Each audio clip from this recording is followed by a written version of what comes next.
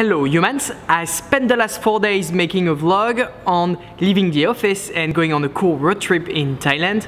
Um, it's next gen, like always, so if you want to watch it, click on the link in the description or in the card.